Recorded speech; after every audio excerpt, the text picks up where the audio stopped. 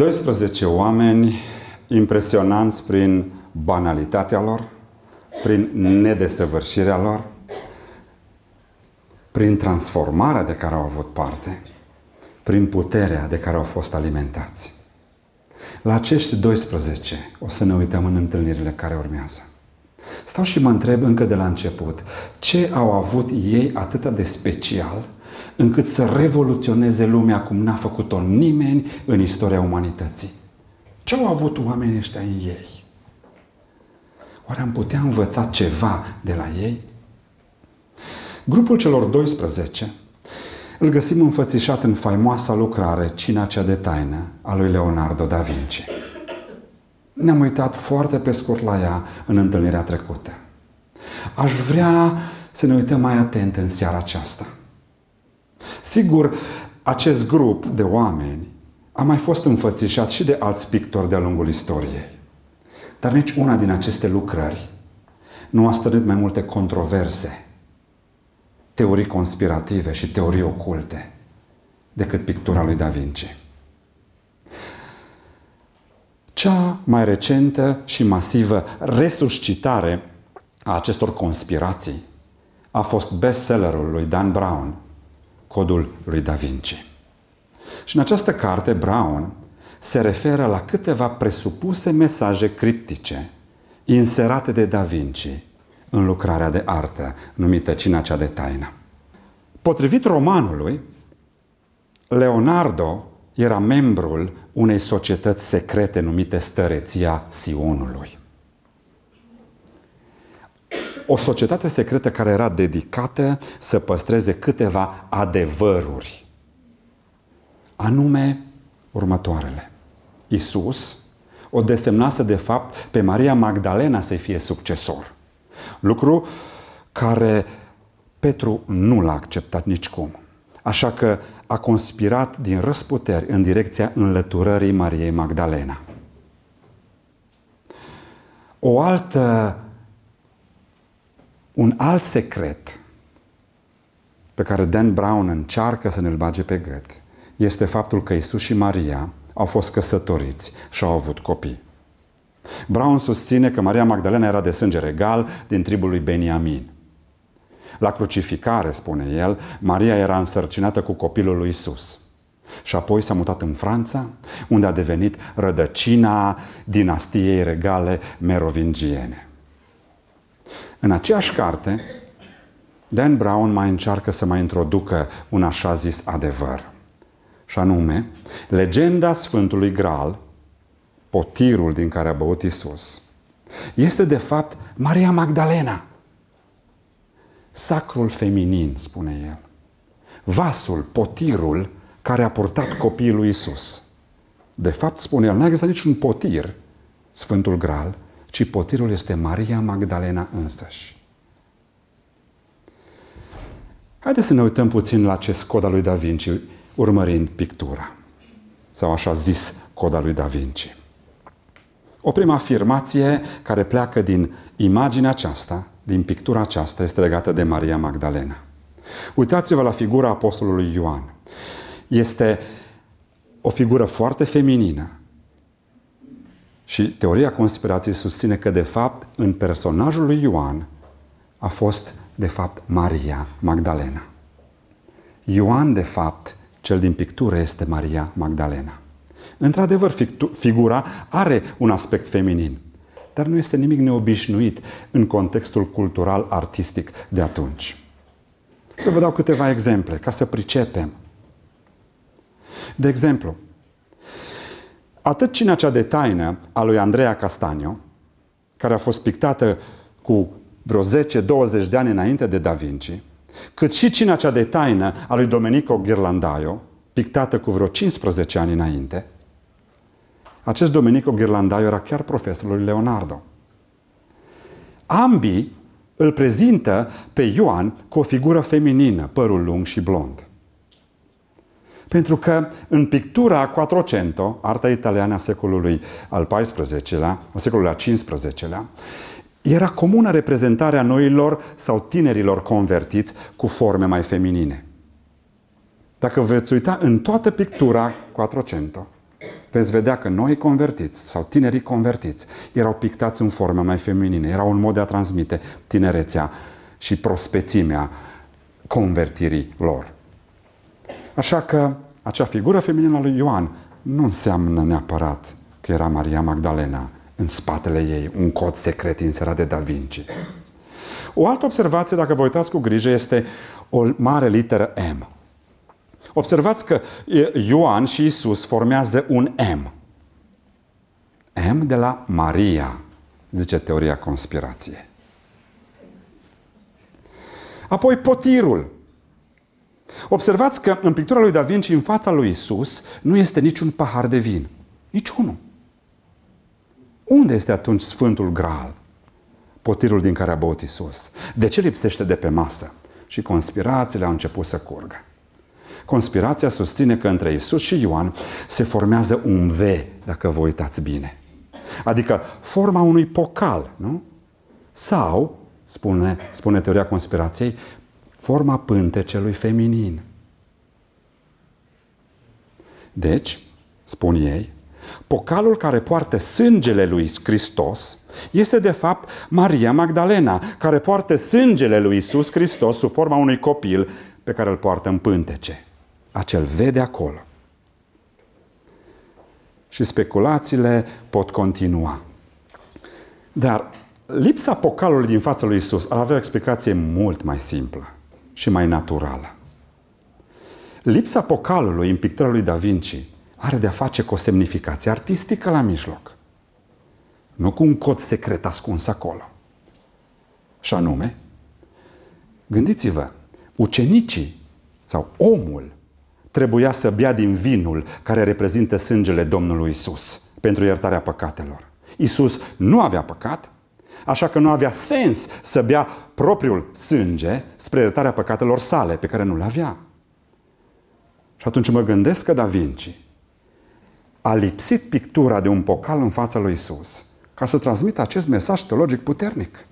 Ucenicii, oamenii au nevoie să bea simbolic din sângele lui spre iertarea păcatelor.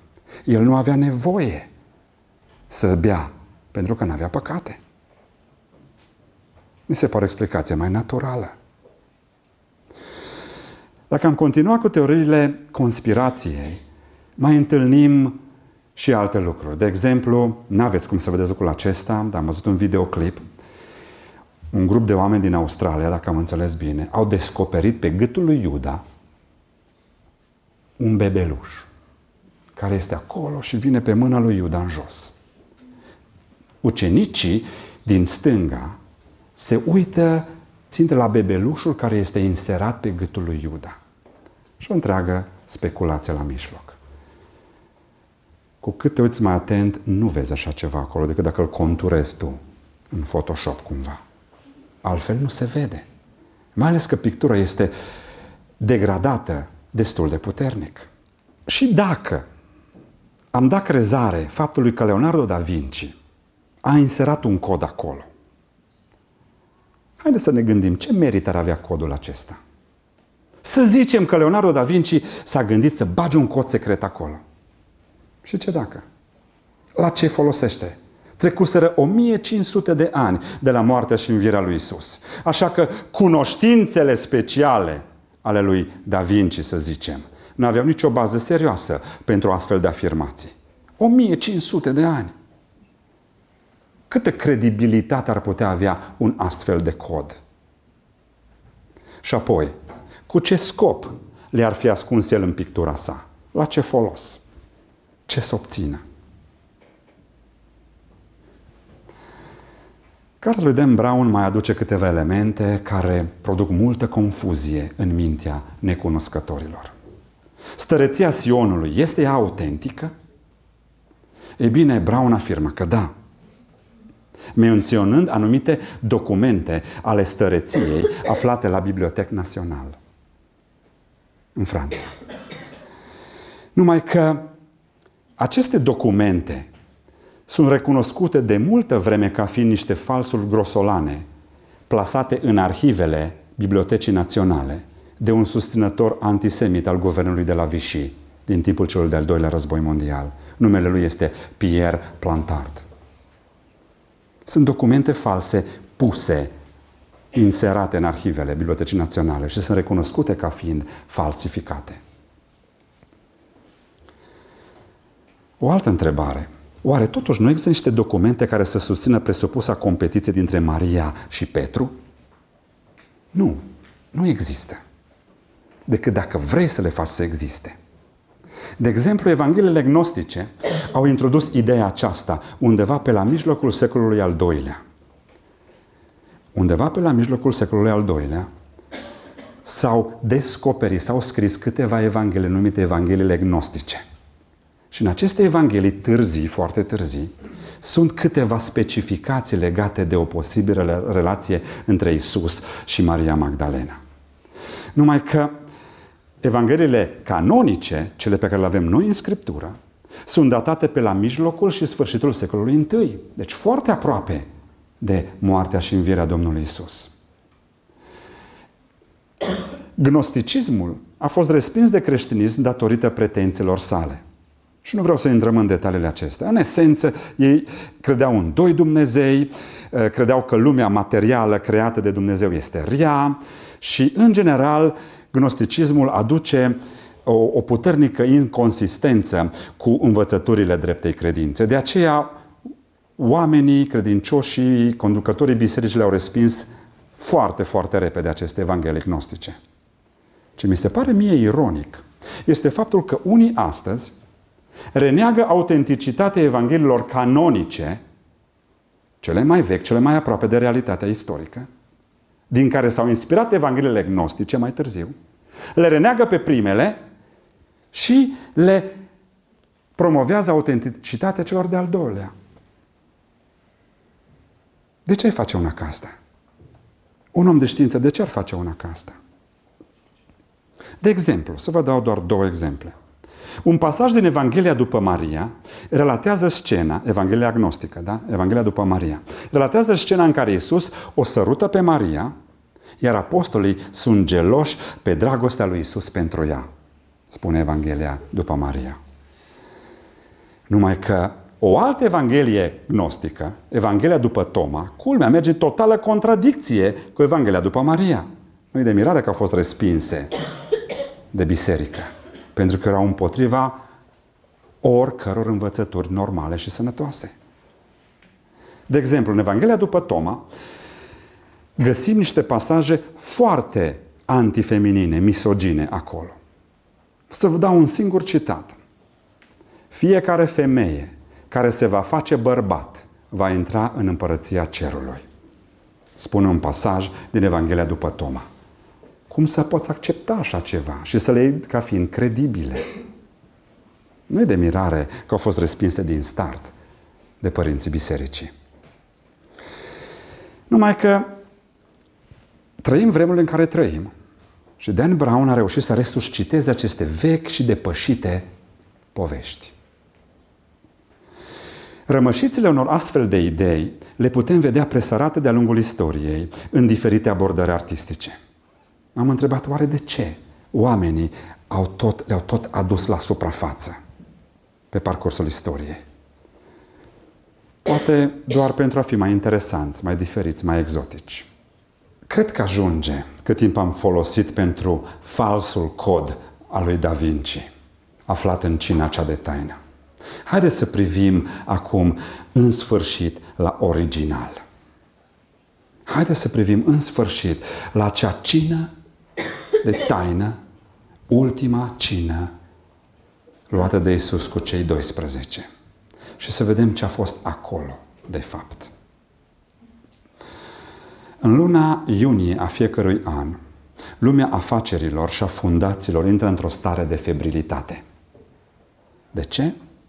Pentru că toată lumea se întreabă oare cine va câștiga licitația pentru cina cu Warren Buffett unul dintre cei mai bogați oameni din lume, un mare filantrop. De mai mulți ani de zile, în fiecare an, oamenii licitează pentru a avea parte de o cină în prezența lui Warren Buffett. Și de mulți ani de zile, acest Buffett strânge fonduri pentru Fundația Glide. Locația este undeva în New York, de obicei la Smith Wolenski Steakhouse, uneori la Omaha Steakhouse sau la Piccolo Pizza.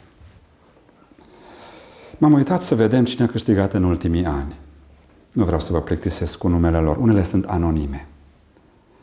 Dar în 2012, un anonim a plătit 3 milioane 456 de mii 789 de dolari pentru a sta la masă cu Warren Buffett. În 2013 s-a plătit doar un milion o mie de dolari.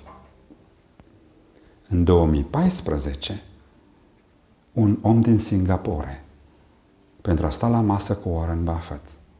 A plătit 2 milioane 166 de mii 766 de dolari pentru a petrece o cină în prezența lui Buffett. Spre deosebire, cinarea cu Domnul Isus nu se vinde la licitație.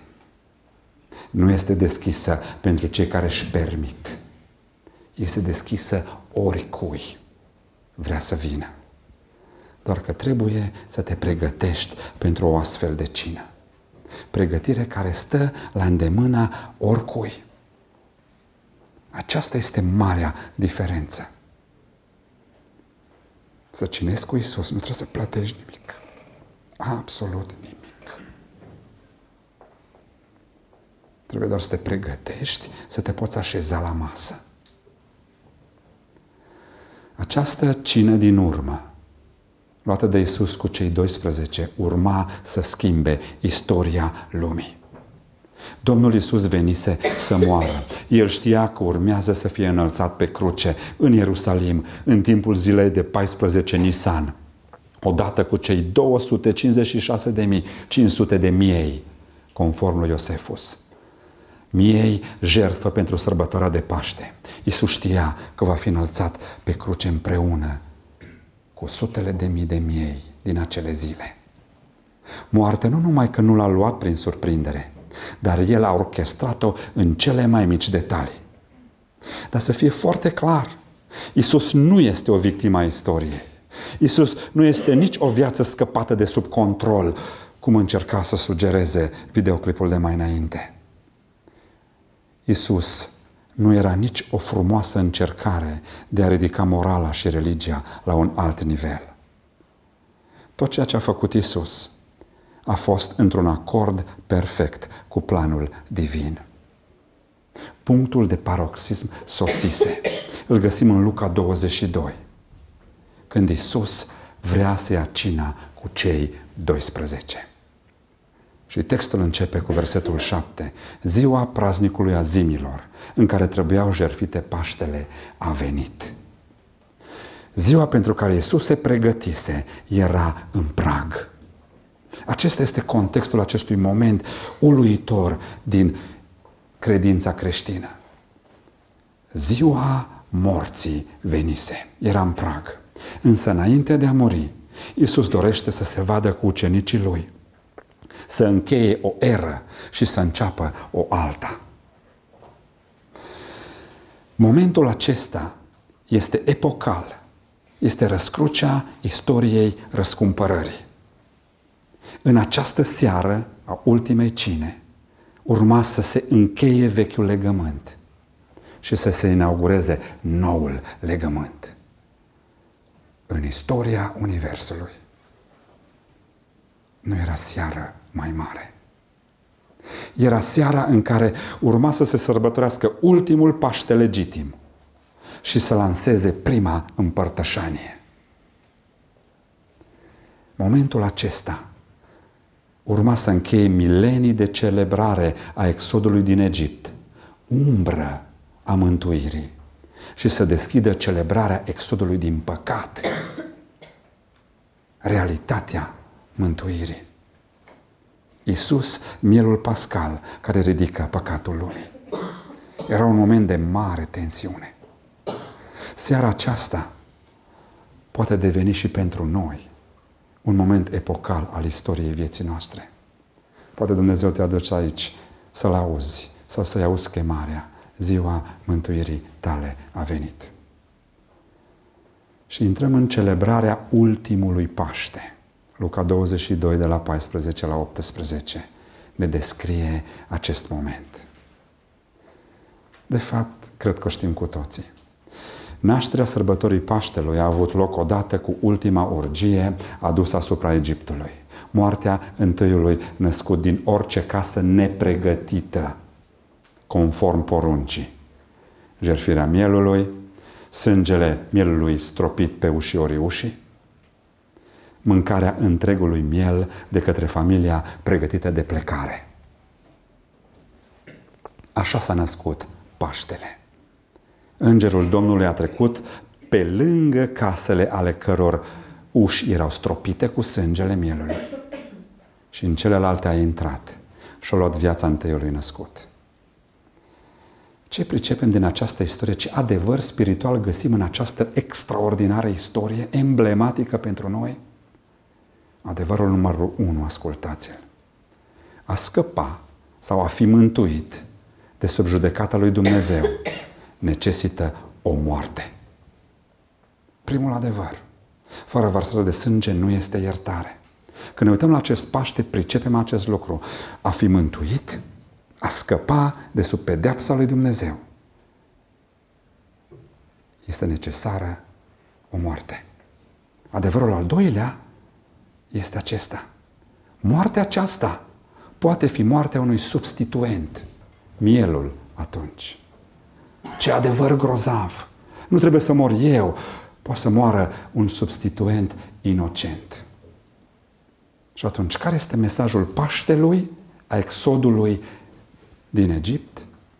Dumnezeu poate mântui prin moartea unui suplinitor inocent. Și în acea seară Domnul Isus urma să spună celor 12, prietenii mei, ca și le-a spus cu câteva ore înainte, prietenii mei, se schimbă epocile în seara aceasta. Mănânc cu voi ultimul Paște conform ritualului. Și de aici încolo urmează să-l mâncați altfel. Și textul spune așa din Luca 22. Când a sosit ceasul, Iisus a șezut la masă cu cei 12 apostoli. El le-a zis, am dorit mult să mănânc Paștele acesta cu voi înainte de patima mea, căci vă spun că de acum încolo nu le voi mai mânca până la împlinirea lor în împărăția lui Dumnezeu. Când a sosit ceasul. E vorba despre apusul soarelui când începea sărbătoarea. Și această cină, Paștele, era una foarte lungă, structurată pe câteva etape. După spusele lui Iosefus Flavius, la masă erau între 10 și 20 de oameni ca să poată mânca tot mielul. Nimic nu era voie să rămână după mielul acela. Trebuia mâncat tot în acea seară. Așa că 10-20 de oameni se strâng într-o casă și respectă un ritual în 10-11 pași. În esență, sau foarte pe scurt, aceasta este ceea ce ni se relatează că se întâmpla atunci acolo. Totul începea cu o rugăciune de mulțumire pentru purtarea de grijă și binecuvântările primite. Apoi urma prima cupă de vin, un vin diluat cu apă. Apoi urma spă- spălarea ceremonială a mâinilor, atât ca și scop, atât cu scop sanitar, cât și cu scop ritualic, să sugereze nevoia de curățire. Apoi urma mâncarea ierburilor amare, simbolul amărăciunii robiei din Egipt bucăți de pâine încinse într-un sos maroniu făcut din fructe, nuci și tot felul de ierburi. Apoi urmau cântările Halel, psalmii 113 și 114. Apoi urma a doua cupă de vin. Apoi urma Hagada. Capul familiei explica semnificația întregii sărbători. Ce s-a întâmplat atunci și acolo. Și apoi urma mâncarea mielului cu azimi. Pâinea întristării era masa principală. Apoi urma a treia cupă de vin. Apoi urmau cântările Halel, partea a doua, psalmul 115 la 118. Și apoi urma a patra cupă de vin și se încheia lunga cină. De ce v-am dat aceste etape? Pentru că Isus se folosește de ele. Este modul în care El schimbă epocile. Stă la masă cu ucenicii și petrece întreaga cină de Paște conform ritualului. Și când cina se încheie, ajung la a patra cupă de vin a serii. Acolo, Iisus o preia și inaugurează prima împărtășanie. Face o trecere liniștită între o epocă și cealaltă. Și în Luca 22, de la 19 la 20, ni se spune ce a făcut Isus. Apoi a luat o pâine și după ce a mulțumit lui Dumnezeu a frânt-o și l-a dat-o zicând, acesta este trupul meu care se dă pentru voi, să faceți lucrul acesta spre pomenirea mea. Tot astfel, după ce au mâncat, a luat paharul și le-a dat zicând, acest pahar este legământul cel nou, făcut în sângele meu, care se varsă pentru voi. Iisus se uită la cina care trecuse. Ia pâinea întristării, transformând-o simbolic în trupul lui. În centrul noului legământ stă această afirmație făcută de Domnul Isus. Trupul meu care se dă pentru voi și sângele meu care se varsă pentru voi.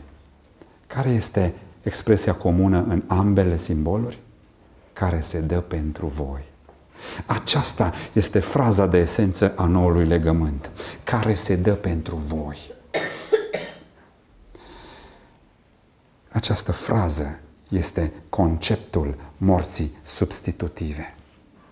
Și nu-i de mirare că Isus a lăsat în urmă un astfel de simbol de practicat. Pentru că acest simbol spune totul. Care era mesajul Paștelui, vă aduceți aminte?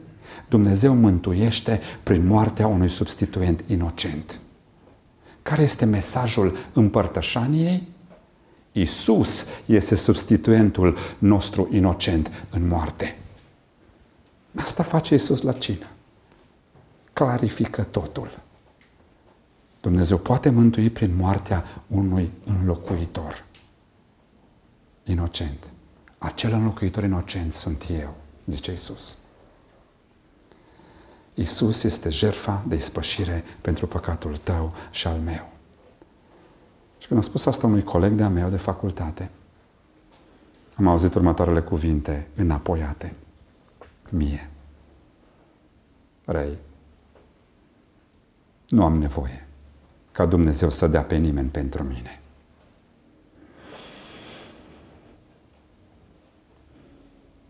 Poți să spui astfel de cuvinte, poți să le spui.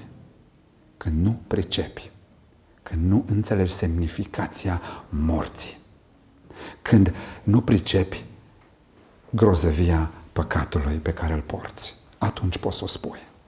Păcatul este o ofensă adusă lui Dumnezeu și plata păcatului este moarte. Dumnezeu trebuia să găsească o soluție care să împace dreptatea lui infinită cu iubirea lui infinită și a găsit-o și a revărsat dreptatea asupra Fiului Său și iubirea asupra mea. În esență, ăsta este creștinismul. Dreptatea lui infinită s-a vărsat peste Fiul Lui. Iubirea lui infinită peste toți aceia care se ascund sub Fiul Lui. Dar oare n-ar fi existat și o altă modalitate prin care Dumnezeu să acorde mântuire ființelor umane? În afara morții Fiului Său, în locul nostru? Să fie foarte clar. În primul rând, Dumnezeu nu a fost obligat să mântuie pe nimeni. El nu a fost obligat. Dumnezeu ar fi putut alege pe baza unei dreptăți perfecte să ne lase și pe noi în păcatele noastre în așteptarea judecății. Ar fi putut să o facă și n-ar fi fost condamnat nici măcar de el însuși. Numai că iubirea lui nu i-a dat pace. Și pentru că iubirea lui pentru noi nu i-a dat pace, trebuia să găsească o soluție. Pentru că iubirea lui nu i-a dat pace. Iubirea lui a făcut un pas înaintea dreptății lui și a acoperit-o în ce ne privește. Nu era posibilă o altă variantă? Din păcate nu. În momentul în care Dumnezeu a hotărât în dragostea Lui să-i mântuie pe oameni, nu a existat nici o altă cale, nici una. Chiar Iisus a rugat, dacă este cu putință, îndepărtează de la mine paharul acesta. Și nu era cu putință. Nu era cu putință. Altă cale nu exista. De ce? Pentru că suntem atât de răi încât nu exista o cale mai ușoară. Dar suntem atât de iubiți încât Dumnezeu nu a ezitat să plătească El însuși prețul suprem. Aici este frumusețea creștinismului. Suntem atât de răi încât doar sângele putea să rezolve problema. Dar suntem atât de iubiți încât nu l-a interesat că e propriul sânge care curge. Domnul Isus a intervenit între mânia lui Dumnezeu împotriva păcatului și noi săvârșitorii de păcat. Isus paratrăznetul nostru. Aceasta este esența noului legământ, care nu trebuie uitată nicio clipă, spune Isus, să faceți lucrul acesta spre pomenirea mea. Înțelegerea unor astfel de adevăruri a făcut din cei 12 oameni simpli, needucați, poate niște ratați din punctul de vedere al societății. A făcut dintre ei cei mai mari revoluționari a istoriei omenirii, oameni care au răscolit lumea.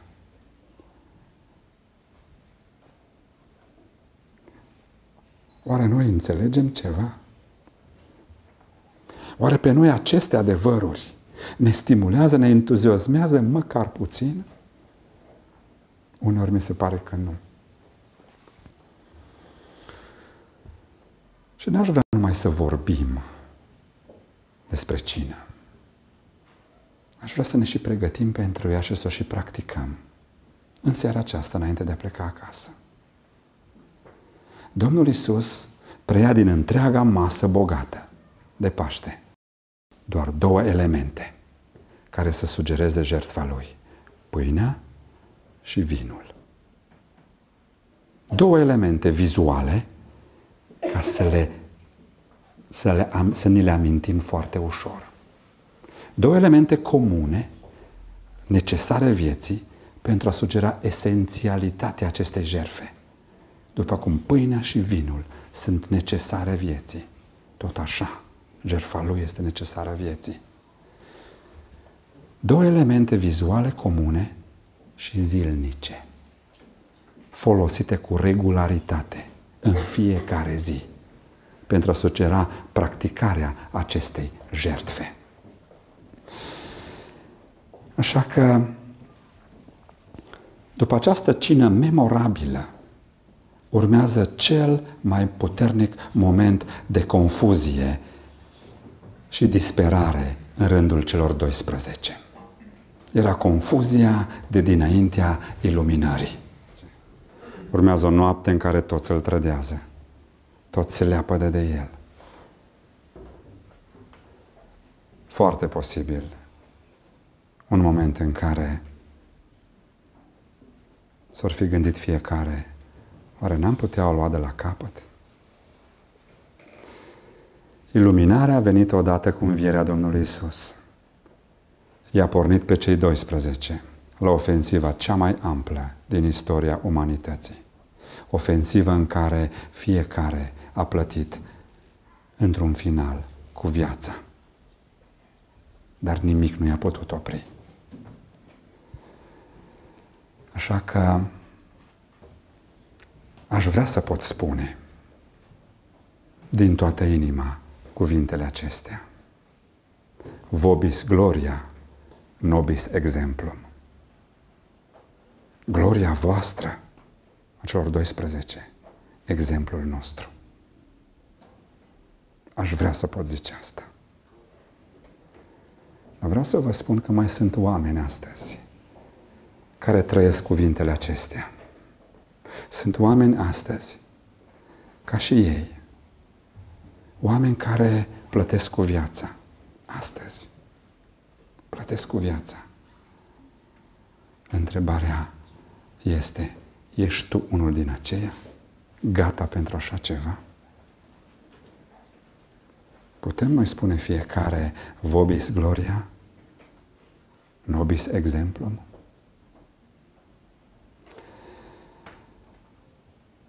Aș vrea în momentele care urmează să închidem ochii cu toții și să ne pregătim puțin de cină. Habar n-am prin ce treceți, ce defecte a avut ziua de astăzi sau săptămâna asta sau viața voastră în ultima vreme. Cina Domnului este întotdeauna o ocazie să o iei, nu să o respingi. Întotdeauna cina Domnului este ocazia de a te pregăti, de a te curăți, de a-ți cere iertare și de a o lua, nu de a sta în bancă, să nu o iei.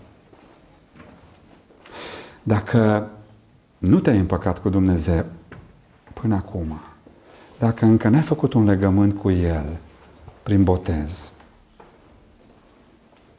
nu poți să iei cina, dar te poți hotărâ să faci legământul acesta.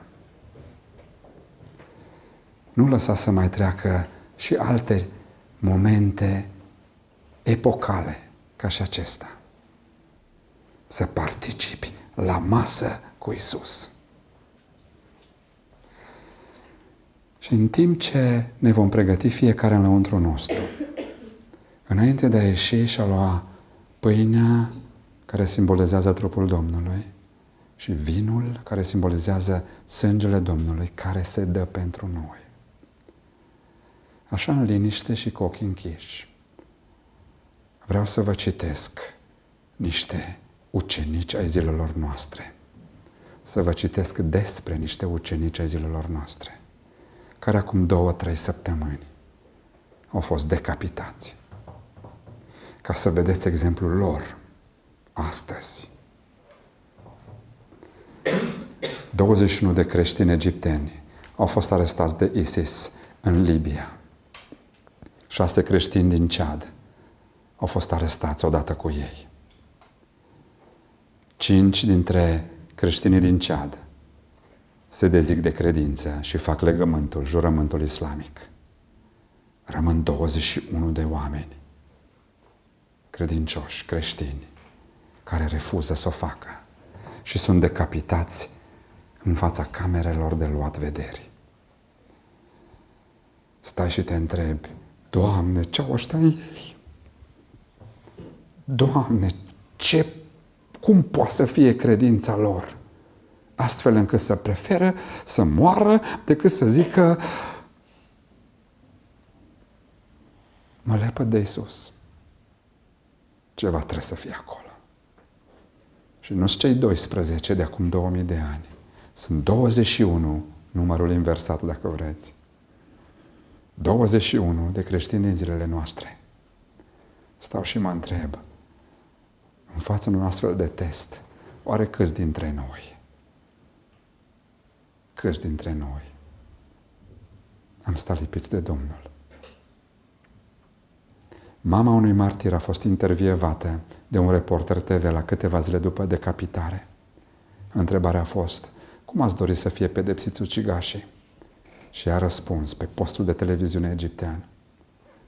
Îi iertăm și ne rugăm pentru mila Domnului față de ei și familiile lor. Reporterul musulman a comentat după aceste cuvinte. Citez. Acum înțeleg cum creștinii pun la inimă acele glorioase cuvinte ale lui Isus cu privire la iubirea vrășmașilor și iertarea celor ce îi persecută. Am încheiat citatul. O femeie cu nume musulman, clar musulman, pe blogul personal comenta, citez, teroriștii noștri, criminali și atacatorii noștri sunt considerați martiri când mor în acțiune, dar nu sunt. Acești creștini bravi sunt martiri adevărați, călcând exact pe urmele lui Isus, cea mai nobilă persoană care a umblat pe pământ. Am încheiat citatul.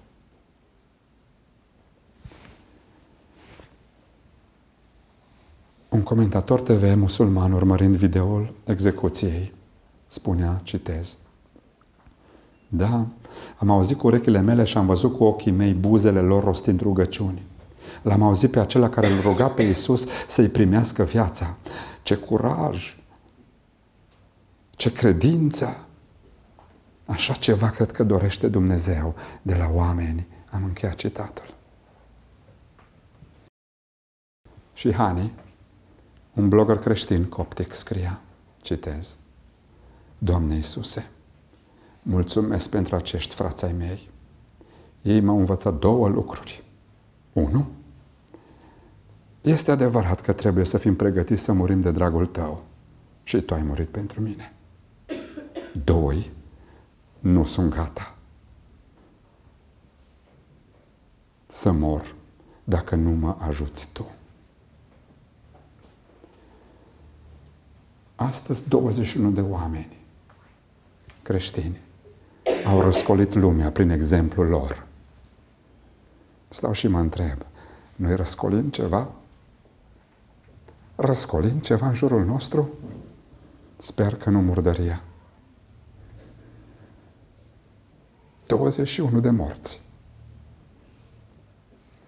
Au lăsat în urma lor un exemplu copleșitor a unei credințe adevărate, autentice.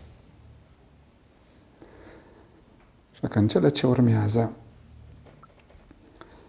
aș vrea să ne gândim fiecare bine și să ne rugăm fiecare în dreptul nostru. Și să pornim la masă.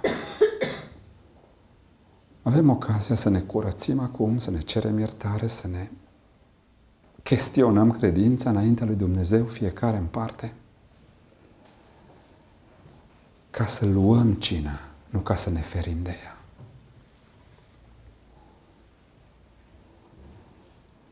Și după câteva secunde de liniște în care vreau să vă las să vă rugați, Vă îndemn pe toți cei care puteți să luați cina și doriți să o luați.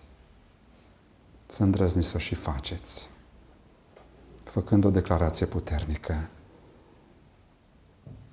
Doamne, este adevărat că trebuie să fim pregătiți să murim de dragul Tău. Dar recunosc că nu sunt gata să mor dacă nu mă ajuți Tu. să venim cu mulțumire în față, să luăm bucata de pâine și să mâncăm și să luăm paharul de vin și să-l bem. și apoi să ne întoarcem la locul nostru. Așa că câteva secunde de liniște în rugăciune. Și apoi, unul după altul, Veniți pe culoarul din mijloc. Vă serviți și apoi luați-o în stânga sau în dreapta și vă înapoiați la locul vostru. Pentru că vreau să încheiem seara aceasta cu această procesiune, cu această declarație a credinței noastre, luând cina în amintirea și cu recunoștința față de moartea substituentului inocent pentru noi, Domnul Isus. Câteva momente de liniște.